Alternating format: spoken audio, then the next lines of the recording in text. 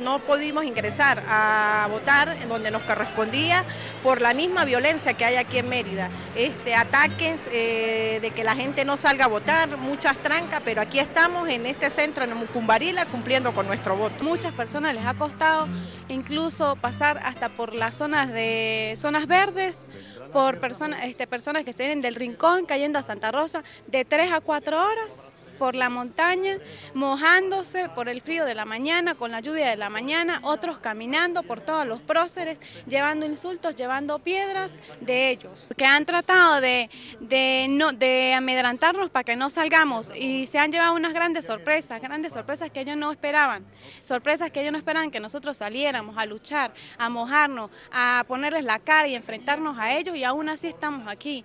¿Ve usted muerte? ¿Ve guerra? ¿Queman personas vivas aquí? ¿Ve algún acto de destrucción? No, ¿verdad?